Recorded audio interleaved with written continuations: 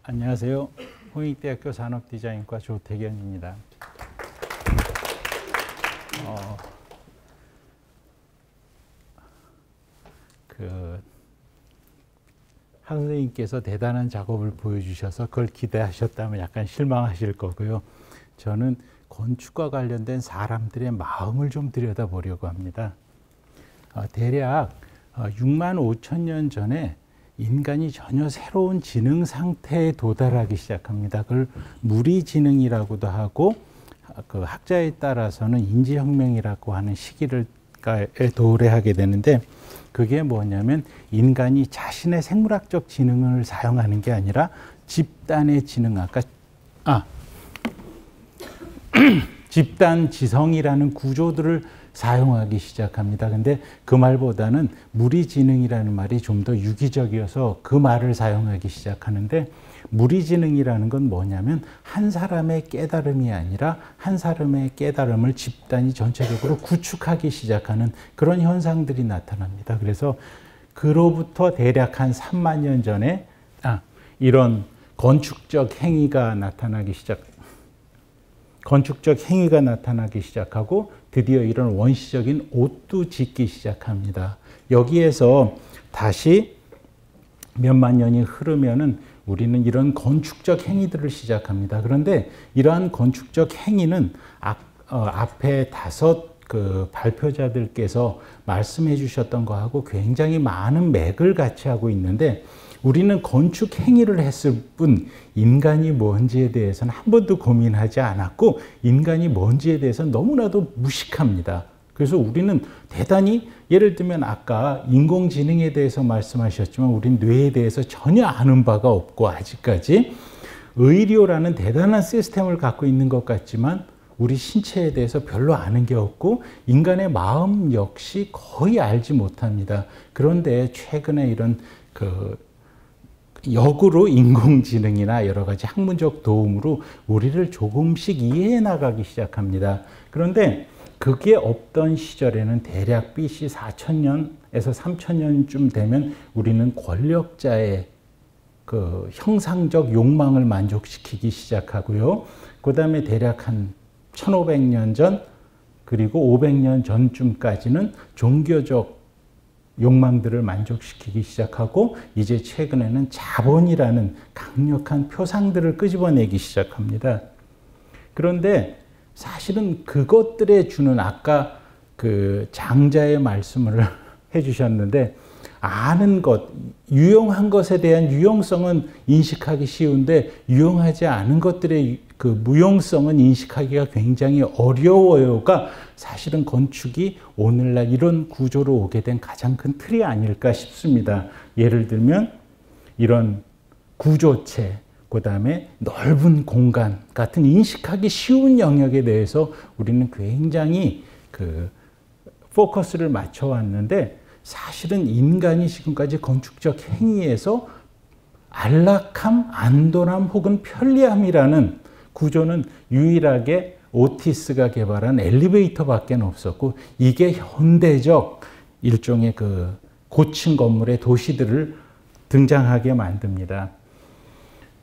그리고 드디어 계속 이야기하는 4.0의 시대에 왔습니다. 그런데 우리는 지금까지 계속 어떻게 보면 그 시도하고 실패하고 시도하고 실패하면서 이런 것들을 구축하긴 했는데 이거의 의미를 아직 파악하고 있진 못합니다.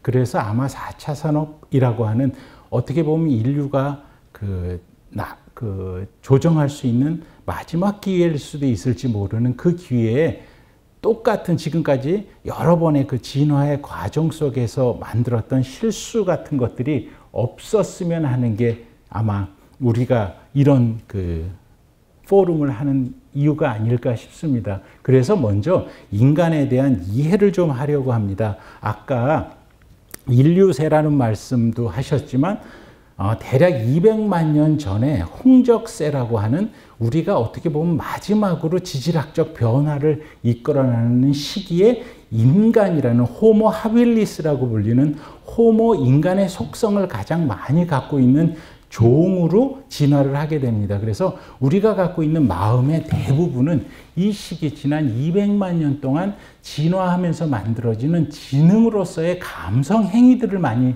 담고 있습니다. 그래서 이로부터 어, 이들이 가지고 구축했던 공간과 이동 방식에 대해서 우선 집중적으로 이야기를 좀 해보려고 합니다.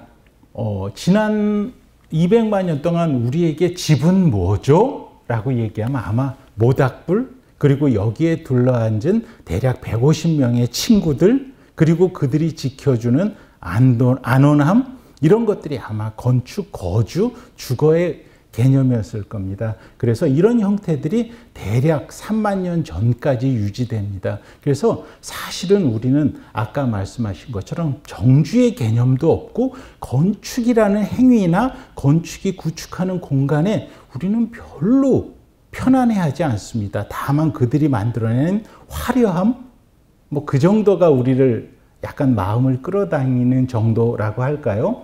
그리고 아마 이 시기에 우리에게서 일어난 이동 장치를 듣자면 이런 직립 같은 것들일 겁니다. 이 직립에 의해서 우리가 어, 먼 거리를 이동하기 시작하면서 호모 에렉투스라는 종으로 진화하게 되고 여기서부터 인간적 속성들이 굉장히 많이 나타나기 시작합니다. 뇌도 커지고 그다음에 그 먼 거리를 이동하면서 지금 여러분들이 왠지 멀리 떠나고 싶어 하는 그러니까 우리는 도시라는 내가 아까 말씀하신 것처럼 우리는 어느 공간에 거주하는 유일한 생명체인데 그게 여러분들은 불편합니다. 근데 왜 불편한지 우리는 알 수 없는데 사실은 우리가 200만 년 동안 진화시킨 되게 심각한 감성 지능이라는 부분이 되겠죠. 그래서 이런 어떤 그 노마드적 속성이 나타나게 된 신체적 구조의 변화 같은 걸 들 수 있을 겁니다.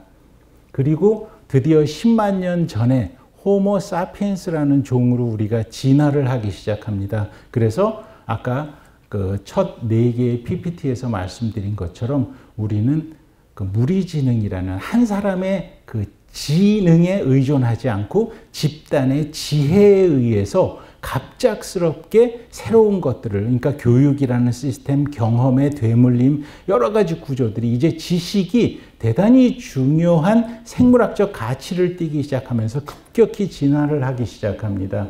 이때 이제 유럽으로 펼쳐나간 사람들은 그, 그, 그 혹독한 추, 그 기후하고 맞서기 위해서 이들은 나름대로 이런 그 거주 방식들을 택하고 여기에 자신의 영역이라는 어떤 그 상징성들을 부여하기 시작합니다. 그리고 이때의 이동 장치는 아까 그 다리와는 다르게 여기서부터는 친구와 함께 걷기. 그래서 아프리카 속담에 이런 말이 있다고 합니다. 빨리 가려면 혼자 가라. 그런데 멀리 가려면 친구하고 가라. 근데 이게 항상 혹담, 속담은 앞에는 나쁜 것, 뒤에는 원래 전달하려는 의도들을 숨겨놓는데 그것처럼 결국은 인간의 속성에는 빨리 가는 것보단 굉장히 멀리 가려는 속성들이 담여져 있습니다. 그래서 조금 이따 이야기하겠지만 여러분들이 얼마나 노마드적인 속성을 가지고 있고 현대에 와서 노마드적 욕망들이 엄청난 산업으로 변하는지를 한번 볼 수 있을 것 같습니다. 그리고 아 홍적세를 지나서 만 년 전에 드디어 우리가 충적세라고 하는 새로운 세에 도달하게 되는데 이때부터 우리가 그 대략 한 만 년 전쯤에 그 중동에서 그 나달이 흩어지지 않은 원시적인 미를 발견하기 시작하면서 정주라는 생, 그러니까 인간에 의해서 의지에 의해서 최초로 환경들이 만들어지기 시작합니다. 그런데 그 환경이 나타난 지 그 불과 한 천 년 후에 카탈 후유크라는 지역에 뭐 이 사진은 아닙니다. 이 정도 규모의 도시들이 나타나기 시작합니다. 근데 여기서 하나 굉장히 슬픈 거는 인간이 잉여를 처음 경험했는데 그 잉여에 어떻게 적응하는지를 몰랐습니다. 그래서 그 잉여가 그렇게 즐겁지만은 않았습니다. 그리고 천년 뒤에는 이런 정치적 시스템이나 권력이 나타나면서 그 잉여가 한쪽으로 몰려가는 것들을 우리는 이미 경험을 했습니다. 그리고 어, 새로운 이동 장치로서 바퀴들이 대략 한 BC 5천년 전경에 나타나기 시작하죠. 그리고 드디어 이제 180년 전, 한 18세기에 오면 산업혁명이라는 어, 마지막 혁명을 시작합니다. 그 전엔 농업혁명이었을 거고, 그 전에는 인지혁명이었을 거고, 그 전에는 아마 진화적 혁명을 겪어왔을 겁니다. 그래서 사실은 우리는 우리가 겪는 그 변혁에 대해서 굉장히 익숙한 종이야. 우리가 인공지능이 꽤 발달하더라도 걱정할 것 없어. 우리는 지금까지 자연과 의외로 굉장히 경쟁하면서 진화해 왔기 때문에 이제는 인공지능이라는 산업적 구조체, 인공적 환경과 그 경쟁하면서 또다시 진화해 갈 거야. 이런 이 정도의 구조로 이야기할 수 있을 겁니다. 그래서 산업 환경이라는 또 다른 생산적 방식들이 나타나기 시작합니다. 그리고 그 산업 혁명은 이런 도시들을 구축했고요. 그리고 이런 아마 장치들을 만들어냈을 겁니다. 그런데 이제 2차 산업이 되면서 증기, 석탄에 의존했던 것에서 전기라는 굉장히 효율적인 다루기 쉬운 방식이 나타나고 아까 말씀드렸던 대로 오티스에 의해서 수직 이동이라는 구조가 나타나니까 전혀 다른 도시적 맥락의 공간적 맥락들이 나타나기 시작합니다. 그리고 이때 제트 비행기가 나타나는데 어, 지금까지 그러니까 어, 19세기를 넘어서서 20세기가 도달할 때까지 우리는 노마드적 감성이 굉장히 억제되어 있었고 거의 거세되어 있었습니다. 그래서 우리는 노마드적 감성이 없는 생명체인 줄 우리는 착각을 하고 있었는데 제트 비행기가 나타나니까 작년에 15억 명이 비행기를 타고 국경을 넘습니다. 그리고 인간이 만들어내는 산업 총 생산의 거의 18%를 이동하는 데 사용하기 시작합니다. 그게 우리가 가지고 있는 감성의 구조이고 도시를 태하는, 대하는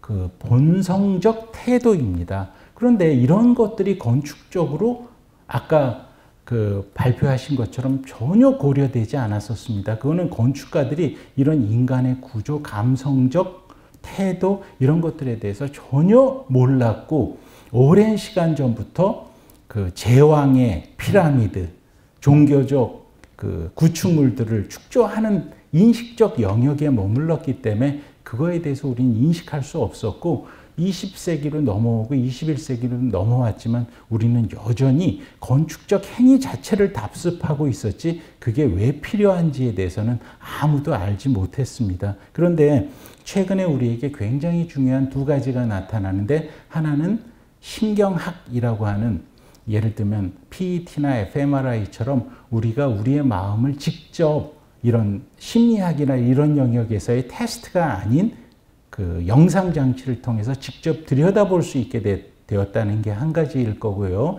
다른 하나는 진화 심리학이라는 영역인데 인간의 마음이 그 진화적 영역을 통해서 오랜 기간 구축돼 왔고 이거를 해석하는 게 굉장히 용이해졌습니다. 그래서 우리의 마음을 꽤 쉽게 들여다볼 수 있는 장치들이 구축되었다는 점일 겁니다. 그래서 산업 4.0이라고 불리우는 그 시기로 들어가는데 이때 건축적 행위, 도시적 맥락은 어떻게 나타나야 될까요? 정도를 잠깐 들여다보려고 합니다. 근데 사, 그럼 산업 3.0과 산업 4.0의 차이는 뭐죠? 산업 4.0이라고 하는데 그 차이가 뭐고 그 사이에 어떤 변화들이 있죠? 라고 얘기하면 이거를 약간 구분해서 얘기하면 이럴 겁니다.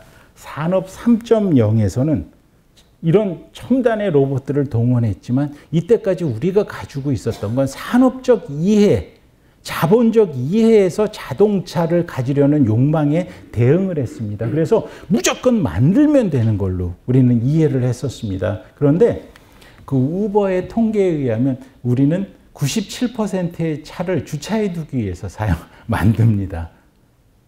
3%밖에는 자동차가 도시를 굴러다니지 않고요. 그 다음에 우리가 만드는 건축의 첨단 건물들을 지어내고 있지만 평균 치면 24시간 중에 3.5시간밖에 사용하지 않습니다. 그러니까 우리는 대부분 스펀지처럼 비워두기 위해서 이 도시를 만드는 방식들에 굉장히 골몰해 왔었습니다. 그래서 아까 이런 젊은 디자이너들이 새로운 가변성으로서의 그 도시적 그 구조들을 이제 연구하기 시작하는 것 같습니다. 그래서 아마 3.0과 4.0으로 넘어가는 것은 생산 중심의 구조에서 사용자 중심의 구조로 넘어가는 게 아닐까요? 건축도 마찬가지가 아닐까요? 그 다음에 아마 우리가 가장 첨단이라고 여기는 스마트폰과 핏빛의 차이가 3차와 4차를 구분하는 게 아닐까요? 우리는 얘를 사용하기 위해선 어쨌거나 의식을 집중하거나 자각을 해야 됩니다. 그러니까 내가 그거를 사용하고 있다라는 조작적 인식이 필요한데 거기에서 벗어나기 시작하는 게 아마 4차 산업이라는 구조일 거예요. 그래서 우리가 찾아가려고 하는 건축도 이런 모양을 따라가는 게 아닐까요? 정도로 이야기할 수 있을 겁니다. 근데 어 그러면 도대체 어떠한 변화가 일어나길래 4차와 어, 3차를 이렇게 명확히 구분해야 되고 이것이 어떻게 건축적으로 적용될 수 있, 있죠? 도시적 맥락으로 확장될 수 있을까요?에 관한 것들인데 아마 5G 아까 계속 말씀하셨는데 이 5G의 특성은 데이터 전송에서 delay가 없다라는 겁니다. 이 점이 굉장히 중요한데 데이터 전송 속도보다는 delay가 없기 때문에 모든 게 유기적으로 연결돼서 오차 없이 마치 생물학적 관계처럼 그 interact를 하기 시작할 수 있는 기반입니다. 그 다음에 계속 말씀하셨지만 빅데이터라고 하는 것들인데 이미 말씀을 하셨으니까 넘어가겠습니다. 그 다음에 계속 말씀하신 인공지능 같은 것들이 이제 환경의 구조로 다가오기 시작한다는 거죠. 그리고 이제 유비쿼터스에서 시작했는데 이게 IoT라는 구조로 그러니까 어, 유비쿼터스가 센서에 포커스가 맞춰져 있다면 이제 IoT는 지능이 첨가된 제품 정도로 확장될 수 있겠죠. 그 다음에 이제 wearable이라는 구조들이 나타나는 것 같습니다. 그리고 아, 요거를 조금 우리 언어로 사용하고 싶은데 인공 장인이라는 어, 여러분들이 그 아이언맨에서 봤듯이 일종의 인공 장인이어서 인간에게 또 하나의 대단히 중요한 욕망이 하나가 뭐냐면 무언가를 만들고 싶어 합니다. 왜 그러냐면 어, 우리에게 380만 년 전에 원시적이지만 그 석기들이 나타나고 뗀석기들이 나타나고 이 뗀석기를 잘 만드는 장인은 집단에서 생존적 그 가능성들이 굉장히 높았습니다. 집단의 평판이 높았기 때문에 그래서 특히 수컷들은 무언가를 만들려고 하는데 이 만드는 과정이 아까 그 운송수단처럼 우리를 굉장히 억제시켜 놨기 때문에 만들려는 욕망이 없는 것 뿐입니다. 근데 여러분들은 영화에서 누군가가 무엇 만들면 굉장히 공감이 됩니다. 그것들이 아마 자비스하고 로봇팔이 여러분에게 주어지면 인공장인이 여러분에게 주어지면 여러분들은 여러분들의 것들을 굉장히 만드는 시도를 할 겁니다. 아까 제트 비행기에 의해서 먼 곳으로 가려는 욕망이 봉인이 해제되듯이 그 다음에 이제 3D 프린팅이나 이런 weaving 같은 것들이 나타나겠죠. 3D weaving. 그래서 이 부분은 산업 4.0이라고 불리는 부분에서 어떤 시도들이 지금 일어나고 있고 어떤 가능성들이 있는지를 잠깐 보겠습니다.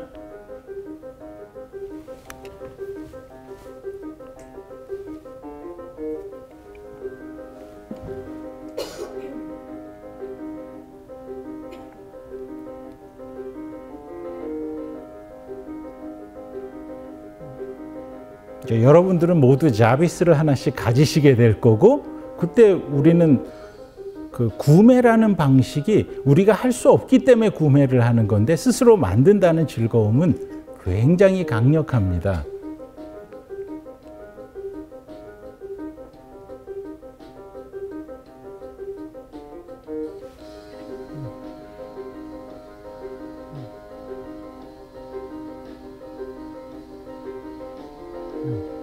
이거는 이제 로봇 장인이 얼마나 유용한지에 관한 것들인데 우리는 목재를 다루기 위해서는 엄청난 장비들이 필요하거든요. 섬세하게 잘라내기 위해선 각도를 예민하게 조절하는 테이블 소도 있어야 되고 각도를 예민하게 조절하는 드릴 머신도 있어야 되는데 이제 그런 것들이 다 사라집니다. 원시적인 드릴과 원시적인 소우만 있으면 각도를 다 계산해냅니다.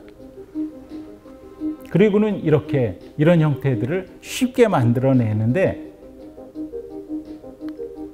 이거를 쿠마겐코의 그 디자인과 비유하면 너무나도 허접. 아, 그러니까 일본 장인들이 할 수 있었던 거를 그냥 로봇 장인이 순식간에 풀어버리는 겁니다. 그리고는 훨씬 더 섬세한 형상들, 여러분들이 더 좋아하는 고차원의 형상들을 발생시키기 시작합니다. 이것 역시 마찬가지입니다. 지금 그 DDP가 만들었던 것들을 이제는 로봇 기술이 심리스하게 만들어서 마치 한 장의 철판으로 만들어진 것처럼 만들어내는데 여러분들은 그냥 디자인만 하면 됩니다. 그런데 왠지 조금 불안해지기 시작하지 않나요? 그럼 디자인은 누가 하죠? 왠지 디자인도 누군가가 할 것 같아집니다.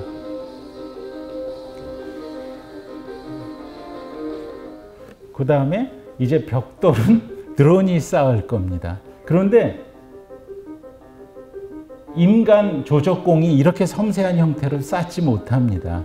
근데 데이터만 입력시켜 놓으면 여러분들이 원하는 집을 이렇게 얼마든지 만들어 줍니다.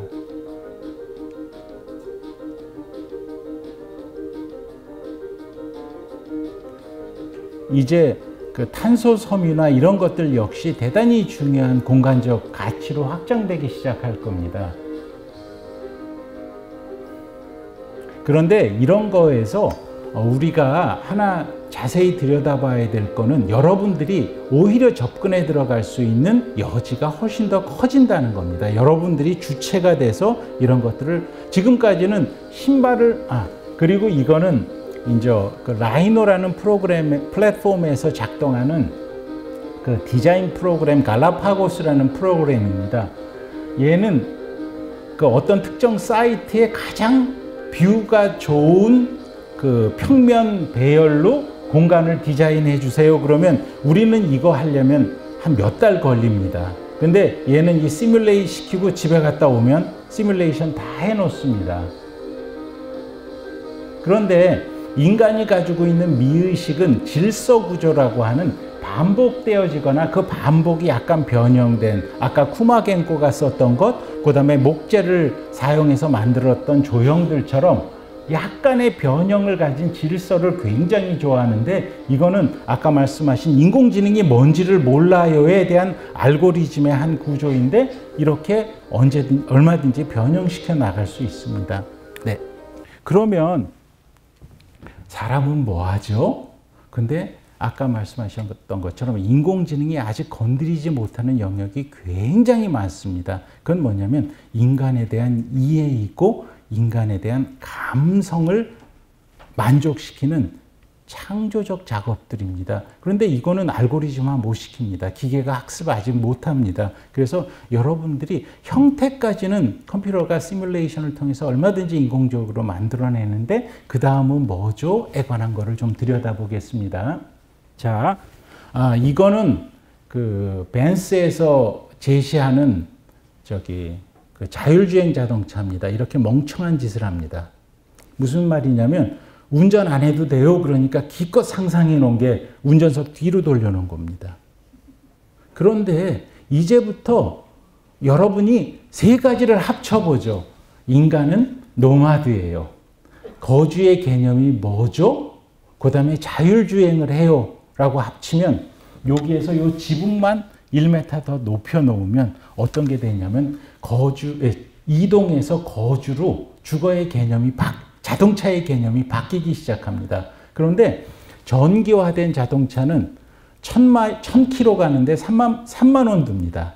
그러니까 여러분들은 지금 유럽에 가기 위해서는 몇 시간 동안, 아, 참, 몇백만 원을 모아서 그만한 충분한 그 결과를 가질까를 고민해야 되는데, 이제 여러분들은 여름방학에 친구 몇이 모여서 자율주행 자동차를 타고 그 안에서 자면 그 다음날 울란바트로에 가 있고 그 다음날 모스크바에 가 있고 그 다음날 터키에 가 있고 그 다음 날은 유럽에 가 있습니다. 여행의 패러다임이 바뀌겠죠. 이런 것들을 찾아내는 게 아마 여러분들의 역할일 겁니다. 이제 디자이너는 형태를 찾는 사람이 아니라 사람들의 감성을 찾겠죠. 여행을 디자인하고 거주를 디자인하고 아마 이런 것들이 아닐까요? 이제 드론이 상품이 될 거고 VR이 상품이 될 거고 biotech가 상품이 될 거고 마침내 로봇이 상품이 될 겁니다. 그런데 슬프게도 건축은 아직도 이 device들 갖다 install하는 거를 자꾸 건축이라고 우깁니다. 이거 건축 영역 아닙니다. 아까도 말씀하셨지만 그래서 건축을 한번 건축의 역할이 뭔지를 잠깐 찾아보죠. 이거는 smart library에 관한 것들인데 문헌정보진흥공간 마음과학을 합치면 어떤 건축이 탄생하는지를 한번 보죠. 어, 도서관의 역할은 오랫동안 고대, 근현대, 디, 그, 그리고 현대의 디지털 도서관까지 정보 보존, 정보 열람, 미디어 변화 정도가 도서관이 할 수 있는 거였습니다. 그런데 스마트 도서관은 아마 지식을 생산하는 장치 아닐까요? 지금 지식을 생산하는 장치는 두 가지가 있습니다. 하나는 대학, 하나는 연구소 정도인데 이 두 집단은 굉장히 폐쇄적입니다.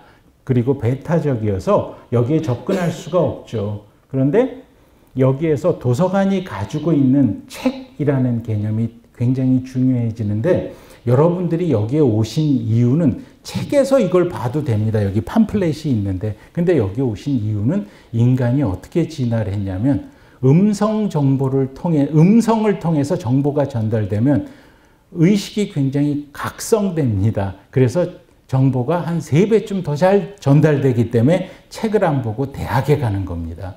그래서 저희 그 젊은 교수님들이 그런 걱정을 하십니다.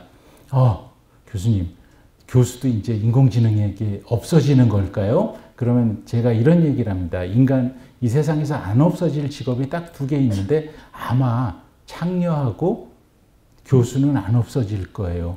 왜? 서비스 직업이니까. 음, 그래서 어 그런데 우리는 그 책에 들어 있는 지식을 전달하는 것도 유용하지만 더 좋은 방법이 있습니다. 뇌에 들어 있는 지식을 뇌가 구강원으로 전달하는 방법, 그리고 여기에 미디어를 합치는 방법들이 있습니다.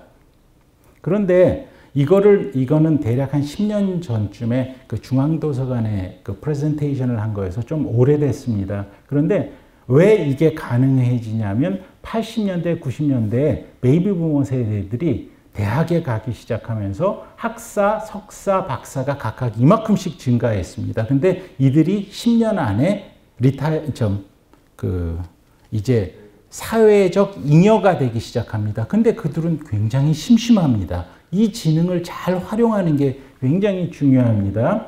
그래서 어, 이들을 어떻게 한, 한꺼번에 모을 수 있죠?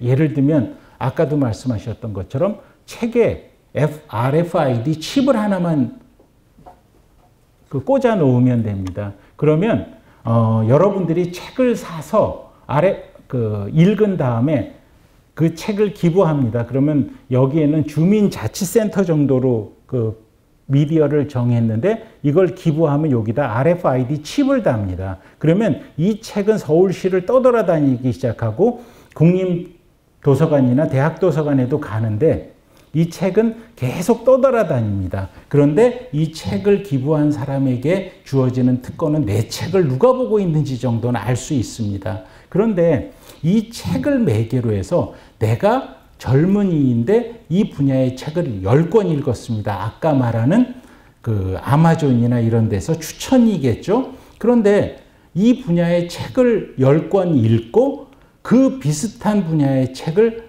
100권 읽은 사람도 있을 거고 1000권 정도 더 읽은 원로 그, 그, 그 학자도 있을 겁니다. 그러면 앞으로 도서관의 역할은 뭐죠? 이들을 한꺼번에 모아주고 맛있는 차를 주는 겁니다.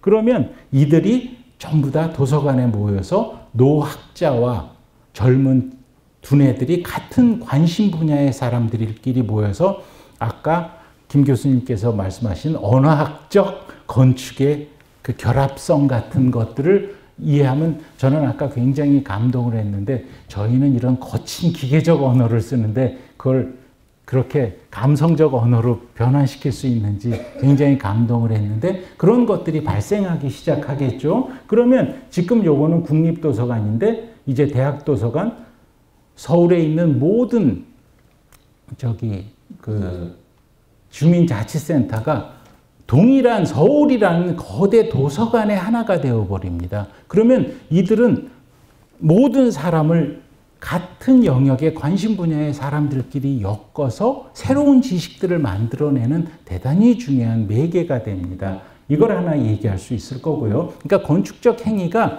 이제 지금까지 건축은 무책임하게 공간만 만들어 놓고 네가 알아서 써였, 써였습니다. 이제는 컨텐츠가 필요합니다. 그러니까 건축은 공간이 아니라 그 공간이 담고 있는 컨텐츠가 주체가 되어, 되어야만 하는 게 4차 산업시대의 건축입니다. 어, 이, 여기에 아파트가 하나 있는데요. 여기에는 독신 여성만 살 수 있습니다. 100명이 살고 있습니다. 그런데 이분들은 뭐냐면 한 달에 5만, 5만 원의 회비를 내야 됩니다. 그러면 그 회비로 요리사가 아니라 푸드 코디네이터를 하나 한 사람 hire합니다. 그러면 이 사람의 역할은 음식을 만들어주는 게 아니라 음식을 계획해 줍니다. 그런데 이게 왜 필요하냐면, 어, 영장류 학자들이 그 유인원을 관찰해 보면 고릴라는 하루에 150가지 이상의 음식을 먹고 침팬지는 100가지 이상의 어, 식재료를 그 먹습니다. 그런데 우리는 아무리 그 영양학과를 졸업한 엄마한테 음식을 먹어도 하루에 10가지 이상의 재료를 못 먹습니다. 그래서 저희는 이렇게 면역성이 떨어져 있고 약하고 병에 취약합니다. 그런데 이 코디네이터는 여기에는 100명의 그 career woman들이 살고 있기 때문에 온갖 장소들을 공유합니다. 그럼 그 데이터가 푸드 코디네이터의 데이터베이스로 들어오면 당신은 이태리에 가 있으니까 뭘 사오세요. 당신은 통영에 가 있으니까 굴을 사오세요. 그러면 100개의 식재료가 그 아파트의 그, 그 냉장고에 공용 냉장고에 저장되기 시작하고 푸드 코디네이터는 이거를 사용해서 100가지 재료를 혼합한 음식들을 계획해 줍니다. 그러면 이들이 이들은 이제 그 명령을 따라서 하나씩 가지고 돌아오겠죠. 그러면 이렇게 많은 식재료들이 각국에 맛있는 식재료들이 쌓입니다. 그러면 10명씩 10개의 테이블을 만들어서 식사를 이제 제공하는데 이 여성들은 전부 다 전문직들이기 때문에 각각 다른 영역에 있는 사람들입니다. 그런데 왜 같이 밥을 먹는 게 중요하냐면 영양분을 선, 그, 공유하기 위해서가 아니라 신뢰를 공유하기 위해서입니다. 왜 그러냐면 인간은 지난 200만 년 동안 같은 불 안에 불 앞에 돌아앉아서 음식을 공유한 사람들에게 굉장히 신뢰감을 느낍니다. 아마 여러분들이 갖고 있는 그 것 중에 하나가 여러분들이 우연히 저랑 만나서 제가 밥을 샀습니다. 근데 그 다음날 또 만나서 밥을 샀어요. 첫째 날은 신난다. 둘째 날 제가 또 사면 왠지 불안해지기 시작합니다.